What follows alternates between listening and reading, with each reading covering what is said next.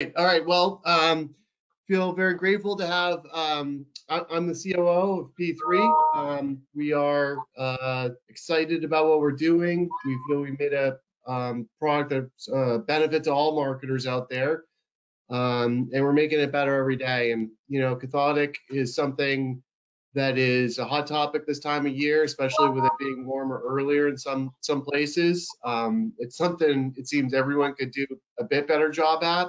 It's something at P3 um, we give you a lot of tools to to deal with. So that again, the, how this works is it's a quick webinar, 20 minutes. Um, we're going to talk with our experts. Um, Brent um, and Robert from Metsa Tanks, and then we're going to do a quick demo. So um, uh, of how you'd how you'd actually use P3 to enter information. So Brent, maybe you could just give a quick intro. Absolutely. Good afternoon, everybody. As Kyle said, my name is Brent Cammett. I'm with P3 Propane Safety. Um, I do all everything propane related you can imagine. I've been in the industry my entire career. So I have a fair amount of experience when it comes to anything propane related. Today, we want to talk about cathodic inspections. Um, and as we go through that, there are certain code and regulations that are required. And I'm going to let Robert introduce himself now so he can we can uh, continue this. Hi, thanks, Brett. My name is Robert Kenney. I'm with Metsa Tanks. Uh, we are a tank manufacturer, uh, both above ground, underground, and AGUG. And this is uh, an interesting position for me to be in because as a manufacturer, we build our tanks uh, as per ASME codes and as well as the protective, uh, as well as uh, ensuring that our tanks have the proper protective coating to be installed underground. And cathodic protection is usually something that we see the marketers take care of. And on our side, it's very important to know that the tanks we're building are being installed properly and safely. So thanks for having me on, guys. I really appreciate the opportunity. Yeah, thank you. Yeah, so so Robert, maybe you could um, talk a little bit about the Metsa and your history, um, and then maybe think you could. We were talking earlier. It was really interesting to hear you uh, also discussing how uh, your history with underground containers and how you guys have started to change your process to be able to do more of that. Well, sure. Thank you. Well, first off, Metsa Tanks is a uh, family-owned company that's been building propane tanks for 40 years. We'll be 40 in one month. We're very excited to celebrate with that, especially as our 40th anniversary will be in Nashville, Tennessee. Um, now, the tank itself, we've been building underground tanks for quite a few years now. It is a uh, it is built at the same specifications as an ASME above ground with a 15-inch riser and that is assembled with a cluster valve. The total the total height is 21.5 inches off of the top of the shell of the tank. The riser is then um, welded. We then weld in an anode lug where you can tie on the copper cable for the anode bags, and we have uh, and then we powder coat our tank with an epoxy finish to ensure that corrosion protection when it is under when it is done underground. Now our tanks um, we've been doing them quite quite a bit, but we've been slow to grow. And uh, one of the one of the biggest reasons that we're um, ready to launch this new uh, this new um, product is with a uh, underground shroud that the customers have been asking for quite a bit. It is a plastic composite underground shroud. This is a 3D model I had I had printed up, and this is going to be you know important for us to continue to grow in this market. So we're excited to uh, continue to work with marketers who are interested in uh, installing Metsa underground tanks and how we can be of uh, of service to you. That's cool. So, in you're you're you guys are a little bit unique because as a marketer, I can deal directly with you as opposed to you know other um, manufacturers I'm going to access through a supply house. Well, that's correct, Sean. We're a, we're a pretty small company, so for us, one of our main value drivers is to be able to be close to the marketers, to sell directly to them, and also listen to their needs. So um, we're very quick with any sort of warranty claims. We're very quick with any sort of um, any sort of um, requests, customizations, and this is the changing of our underground dome to, to a plastic shroud is actually one of the most important things that that has come from that. Now, being close to the, the marketer, we want to make sure that that they're using the proper techniques as well uh, in order to maintain to to assure that when if and when we have any sort of requirement that needs to be attended to that not only the tank is built to the proper standards but also the practices the marketer uses are being controlled in the proper in the proper way and measured as well and four. Um, so Brent, you know, what are we looking at for um, for our code requirements uh, specific to our underground containers, inspection, documentation, reporting? What what do we need to do? So great question. Um, so the- unfortunately, cathodic protection is something that unfortunately tends to go by the wayside in the propane industry. And I think a lot of times it's overwhelming to customers or marketers uh, on what to do, how to do it, what the timing intervals are. And at the end of the day, it's really not that complicated. Um, for example, there are time intervals. You have to test for uh, cathodic inspections, tank to soil potential with a copper sulfate half cell, and NFPA requires it to be done, uh, and they give us a window based on weather, because some parts of the country, of course, when there's, you know, three feet of snow on the ground and ice, well, we can't get a cathodic inspection. So they give us from zero to six months for the very first reading. Um, and then, of course, the secondary reading would be also be a six-month window of 12 to 18 months. And then if those pass, you can then place that customer on a 36-month or three-year rotation. And that's providing that you have a negative 0.85 uh, reading or better, or even more specific, greater negative, which can be very confusing. So we're talking about negative 0.85, negative 0.90, negative 1.00, et cetera. Those would all be acceptable reads. Anything less than negative 0.85, such as negative 80, negative 70, 60, is going to be an invalid read, and we would have to do something like retrofit an anode bag to that. And if any of those inspections do not pass, then that time frame would start all over again, and the marketer would have to make sure they had it on a plan. We do recommend, uh, you know, doing some type of a cathodic inspection schedule. For example, in the springtime, when there's moisture in the ground, having that uh, reading when the moisture is there, the snow load is melted if you're in those types of areas, uh, or those April showers that bring May flowers, those can certainly help with getting that passable cathodic read. And then you can put together a plan to effectively manage and document, which Kyle's going to talk about in a minute here, uh, how to keep keep that and and more importantly, be reminded when you need to return to that customer's house to make sure that those cathodic inspections are compliant. Why should I care? I mean, you know, I mean, it feels like most of the industries ignored this to some degree. Some people have incrementally, my sense is more marketers are starting to do it, but you know, they could be doing more. Why does why does this matter? So good question again. So we all know that especially residential customers is a big push in underground tanks right now. They all want some type of an underground tank. God forbid they have to look at a propane tank in their yard. So why should the customer care or why should the marketer care? Well, we all have vehicles that we drive and we all know that if I parked it underground and backfilled it with dirt, it's a ticking time bomb, meaning it's going to rot, corrosion is going to happen. And the only way that we can manage that corrosion to make certain that it's acceptable reads before we have a propane leak, which could potentially be a catastrophic situation, you know, a large liquid leak or a vapor leak, which could migrate, find a source of ignition, become a major, major problem, loss of property, loss of life, etc. So that's how we do, how we manage where that underground tank is uh, in its corrosion life, if you will. So by taking those readings, we can effectively manage it, find out, do we need to replace it? Do we need to retrofit another anode bag to it? Or whatever the case may be.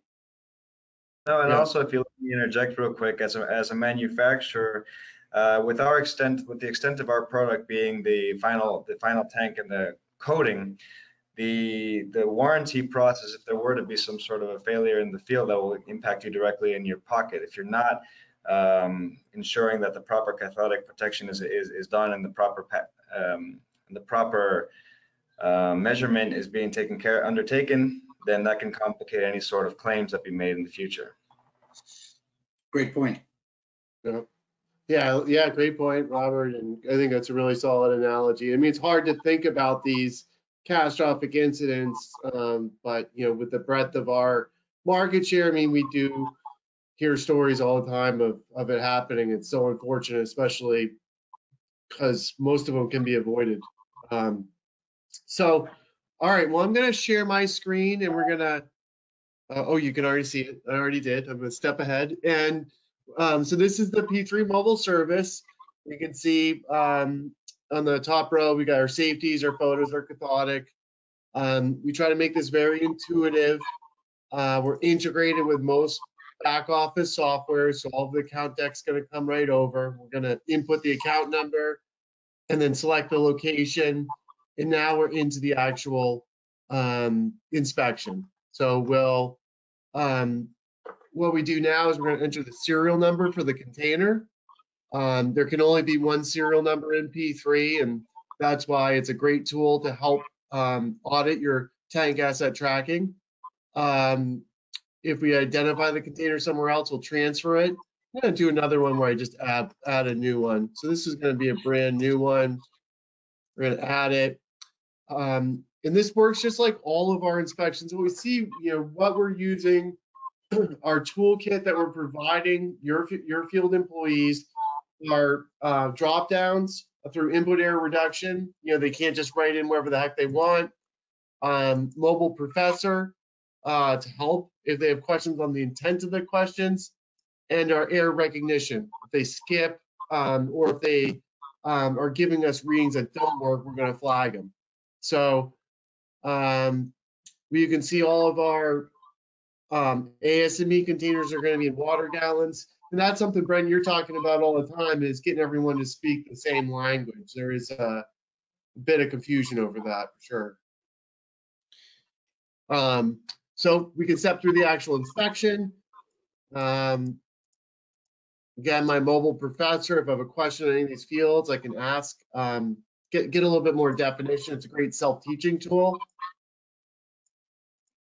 And I can continue. Oop, I still have a skip. You're about to save a container and stop my inspection. Sure you want to continue. No, go back. Make sure I get it done completely. now we're going to be able to, um, if this had been a, um, a re-inspection, you would have seen these fields already filled. Um, but now we can input these fields.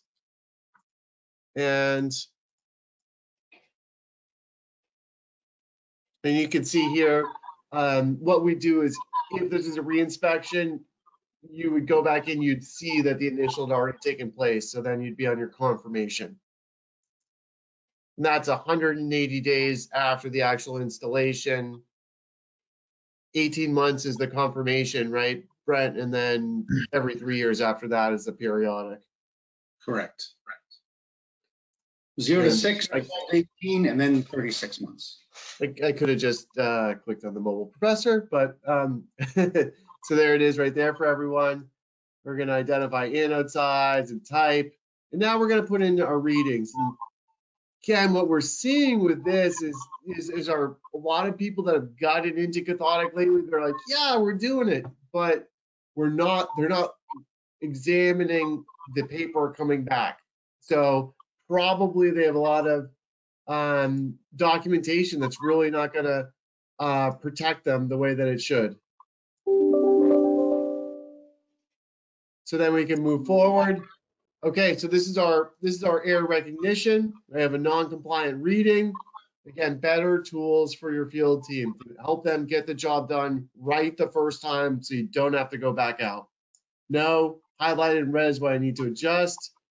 I'm gonna do that. I can save and continue.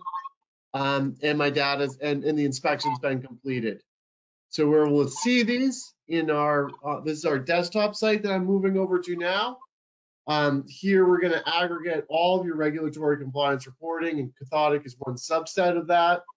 Um, you can see the accounts that aren't current, no inspection, current. You can click through um, and you're able to open up the actual paperwork. So really try to make things as efficient as possible for our clients, better management tools, um, uh, to give feedback to. You're going to see, you're going to be able to look at the paperwork coming in, uh, documentation coming in, making sure that it's done according to your standards. And if you have feedback, you can give people um, that feedback uh, right away. Uh, one of the ways that we do that is through our um, field performance report. And You're gonna see here, if you have any cathodic failing scores in this column right here, that's gonna be a specific follow-up that you can have and using as a coaching opportunity for that, um, for that team member. So that's a snapshot of, um, of the cathodic entry and reporting in P3 with, um, some great, um, front-end information from Robert and Brent. I think we can, um, open it up to questions now. So one question that we have is, are there any common mistakes that you see companies make when performing cathodic protections? Uh, s- I'll say it again. Are there any common mistakes that you see when you see companies performing cathodic inspections? Yeah, so common mistakes would be, uh, for example, the reading, that negative eight five that I mentioned, or greater negative. A lot of times companies get confused on what the read has to be or what the acceptable read is. Uh, Some other common problems would be customer ownership. Uh, We have a spot right on our form in P3 that uh, you document who the owner is day one. Uh, And in customers' defense, sometimes they buy a home, the tank's already in the ground, they're unsure who owns it. And we all know that when they want a good price per gallon, they own the tank. The second something goes wrong with it and it springs a leak, I don't own that, the marketer owns it. So make sure you get proper documentation from day one on who owns that underground tank. And then the other thing that I'm a big fan of on our platform here, as Kyle went through it, we also give you the uh, examples of how to correct whatever those bad reads may be. Meaning, does it need dielectric separation? Does it need an anode retrofit? Whatever the case may be, it's going to walk that technician through some results on how they can make it more code compliant. And you can see on the bottom of the form here, did we have to anode fit a retro uh, in a, an anode bag? We have dielectric separation of some kind? Another confusion around that to the question is what dielectric separation is. And we are spoiled now in the field. We used to only have dielectric unions back in the day. Now we have dielectric regulators, dielectric pigtails, dielectric shutoffs. So more to train on that, but there are many, many options out there. It's uh, it's not your grandfather's reporting anymore, that's for sure. Awesome. So one of the other questions we had is, do jurisdictional systems have different cathodic protection requirements than non-jurisdictional accounts? Oh, great question. So the the criteria that I mentioned before, the layout, of course, that would be for standard uh, customers. If you had a jurisdictional site, and if you don't know what that is, you need to check with only not only PHMSA, CFR 49, but also um, your state. States can have a lot of information around what jurisdicts, uh, what designates a jurisdictional system. So make sure you check with them. But generally speaking, every jurisdictional site needs to have a cathodic inspection on an annual basis. So of course, that's slightly different than the timeframes that I had mentioned previous, but I can't caution that enough. Make sure you check with whatever state you're in for whatever parameters they suggest. Awesome. And the last one we have is, is METSA doing anything to improve the safety and workability for your underground tanks? Oh, yeah, well, so we are in the process of building out, like I, like I mentioned earlier, the new shroud. The new shroud is going to be um, focused with 24 by 24 inch space to increase that workspace uh, for connections and avoid any sort of unnecessary pivot, um, pivots or, or uh, elbows you have to put in there. So, um, you know, we've, we're currently offering a very, a much smaller, much more reduced area for the, uh, for the space there and um and this is going to be a big big improvement we'll, we'll be showcasing it in nashville uh for the for the place Well, that sounds exciting. And you can get some hot announcing it here chicken by the too. way So we just got two more questions in. So this one says, what about a tank you install for a I'm customer? We do not lease underground tanks. The one we install now belongs to the customer. What if they leave us for another distributor? Who is responsible for the continued cathodic testing? So it's going to be whoever is servicing that container. So in other words, if you're making a propane delivery to that underground tank, then you're responsible for those cathodic inspections. Uh, obviously, the homeowner also has a level of responsibility, especially if they own the container. That's why documentation up front is so important. Um, and there are other things that other companies have done to add a level, level of protection. Sometimes customers do not have uh, paperwork on whether or not they own the tank, but they're confident they do. Some marketers have decided to go with a, I hate to use the word generic, but a generic affidavit that was uh, drawn up by an attorney uh, to state that the customer is letting them know that they don't have paperwork on it, but they know that they own the container. That way there, it's just another level of protection when that situation does arise. Yeah, that's a good, I mean, we, I think I, I, I've heard that anecdotally from people over the years saying, well, yeah, we have underground containers, but we don't own any, we don't own them. That doesn't shelter you from the obligation of, uh, of having, working with the homeowner to have cathodic testing completed. Is that, am I hearing that right from you, Brent? Yeah, and I mean, let's remember, in an emergency situation, exactly what we're talking about, that's when this is important. The fire department's gonna respond and they're gonna call whoever's servicing that tank to come out and fix the situation or remedy it. So at that time, you're not gonna be arguing about ownership, you're gonna be fixing the emergency situation that's taken place. That's why when it comes time to bill that customer, you wanna know who owns that tank. So, great question. Yeah, I think we, I, we've, we've recently worked with some marketers to help um, make this a revenue opportunity, you know, you know, okay, yeah, we're gonna do cathodic testing, but that doesn't mean we're gonna give it away. Um, uh, so I think that's, that's something that a lot of, there seems to be a lot of interest in spring in pursuing that avenue. And that's a great point. And a lot of companies will do an annual service on, you know, a furnace or a boiler. Well, they should also include some type of uh, marketing campaign to do this cathodic inspections on customer-owned tanks as well. A service plan, maybe. Exactly. Awesome. So the next question we have is, we use P3 from ads and their reading designations are north, south, east, and west. Is this acceptable terminology to use instead of readings one through five?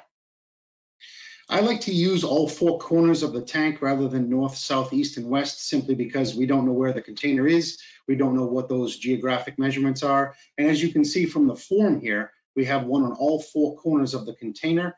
As an industry best practice or standard, anode bags are usually installed either directly underneath the container or on the corners of the container. So if you do your readings in the four uh, corner or the four sides of the container, then you usually uh, can can intelligently avoid that anode bag so you don't get a bad reading. That's interesting. Yeah. So then the last question that we have is a common question that we get from customers is what is the approximate lifespan if properly installed? That's another really good question, and unfortunately, it's very hard to give a, a time frame on that. We've always said that underground containers, uh, they only last as good as the, the soil that they're put in. For example, clay is a very bad environment. Clay is like putting a, a steel tank in a pond. It holds the moisture, nothing drains away. So therefore, the corrosion is going to be promoted.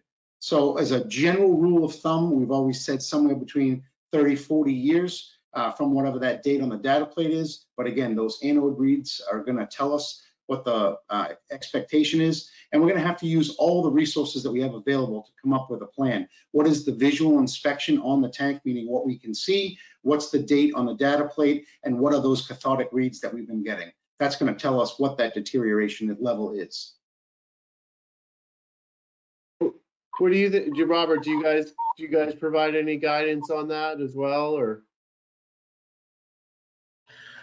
No, uh, we do not uh, provide the guidance specifically. Um, you know, we stand behind the quality of our product, but at the same time, we depend on people, especially like you, to uh, to guide our customer base forward. Totally. Yeah, makes sense. It's the environment it's in, which is going to make a huge uh, difference on how long it's going to last. Yeah, another good point for the marketers that are listening is even when you backfill a, a, container, everybody knows that we should be backfilling it with some type of a sand, but you can even get more specific. I recommend nothing but a leaching sand, meaning something that will um, cause the moisture to run away. We've all been to the beach and seen putty sand that tends to hold the moisture. So the quality of sand can also promote the uh, longevity of the container if done correctly. Yeah, wow, never thought of that. Great. Was that it, Michaela, or anything else? Um, the only other question we had was, is a tank ever too old to test? If I understand correctly, it will end up being every three years for the life of the tank. Do I understand that correctly? As long as it has passable reads, as long as those uh, tank to soil potential readings that we talked about are above that negative 0.85 or greater negative, then it can stay in service. If when those readings drop or your visual inspection on the container is not looking so good, and also that other third piece of information, meaning the data plate when it was manufactured, I'm going to use all of those to come up with a comprehensive plan on when I need to replace that container before something bad happens. Awesome. And then someone just asked if you wouldn't mind repeating the testing dates for these tanks. The testing intervals, Yes. Okay, sure. So when you put a brand new tank in the ground or you do what we call a takeover, meaning you take over an underground container from an existing customer, you have from the date of takeover or installation to six months to get the very first read. And then you have for the secondary read, same thing due to weather, snow and ice. You can put it, you can do the secondary or confirmation on 12 to 18 months. Again, that six month window. And then if those pass, you can place it on a 36 month or three year rotation. And again, it's all part of our mobile professor feature in P3. All you have to do is click on the uh, question mark next to every category and it literally walks the technicians right through every single step.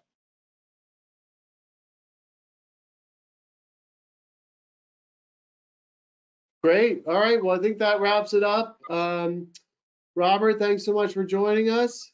Uh, great talking with you. Brent, as always, uh, very informative. And uh, thanks everyone for joining us. Uh, we, we're going to continue to um, do this, uh, do these webinars. They're going to be short, to the point, informative, and show you um, P3 related functionality. Hope everyone has a great rest of the day. Thank you. Hey, thanks a lot, guys. I really, I learned a lot today and enjoyed myself. Thank you. Awesome. Thanks, Thanks, everybody. Robert. Thanks, Brent. Thank you.